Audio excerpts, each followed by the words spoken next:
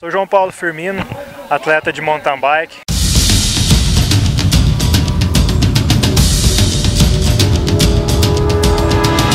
Corro para a equipe Scott.